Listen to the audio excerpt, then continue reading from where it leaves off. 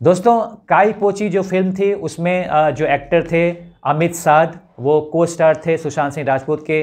तो उन्होंने रिसेंटली एक इंटरव्यू में ये कहा है कि सुशांत सिंह राजपूत के साथ वो कांटेक्ट करना चाहते थे, वो मिलना चाहते थे, लेकिन वो मिल नहीं पा रहे थे। उन्हें मिलने का कोई रास्ता नहीं मिल रहा था और उसके बाद सुशांत सिंह राजपूत उन्हें छोड़ के चले गए। हम सबको छोड़कर फ्रस्ट्रेशन है कि वो क्यों नहीं उस समय मिले, उन्होंने क्यों और ज़्यादा कोशिश नहीं की सुशांत सिंह राजपूत से मिलने के लिए। उनका कहना है कि उस वक्त उन्होंने कोशिश की थी, लेकिन उन्हें कोई ज़रिया नहीं मिल पा रहा था, उन्हें कोई कांटेक्ट करने का कोई रास्ता नहीं मिल पा रहा था।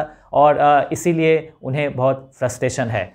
दोस्तों, उनका कहना है कि अब अगर कोई दोस्त बहुत दिनों से उन्हें कांटेक्ट नहीं करता है तो वो डायरेक्टली घर में जाकर उनसे मिल लेते हैं। क्योंकि दोस्तों वो कहते हैं कि उन्हें रिलेशन हुआ है कि अब उन्हें ज़्यादा अलर्ट रहना है और कोई भी दोस्त अगर ज़्यादा देर तक या बहुत लॉन्ग पीरियड तक उनसे कांटेक्ट नहीं करता है तो वो फ़ोन के लिए वेट नहीं करते हैं वो डायरेक्टली घर में जाकर उनसे मिल लेते हैं। तो उनको कहीं ना कहीं दोस्तों आ, उनका कहना है कि उन्हें एक फ्रस्ट्रेशन है कि वो सुशांत सिंह राजपूत से अगर अगर मिल पाते तो हो सकता है ये अनफॉर्चुनेट इंसिडेंट न होता ऐसा उन्होंने एक इंटरव्यू में कहा है।